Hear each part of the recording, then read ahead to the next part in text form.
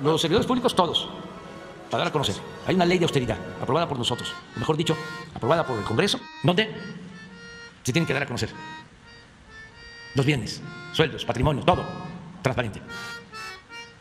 ¿Y el poder económico? No.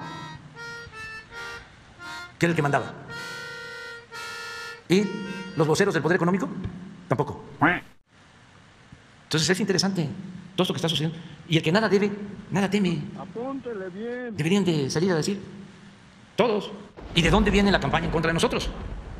Pues de arriba, de esos intereses creados. Bueno, ya hemos dejado en claro que nosotros respetamos mucho al pueblo español, que una cosa es el pueblo español, otra cosa es el gobierno y otra cosa es la monarquía.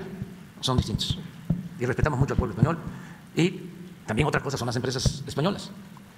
Y la única este, eh, queja, el único cuestionamiento es de que se abusó en otros tiempos de nuestro país y se le consideró como tierra de conquista. Entonces, eso ya no se permite y eso es lo que este, se ha decidido, pero no se rompe la relación.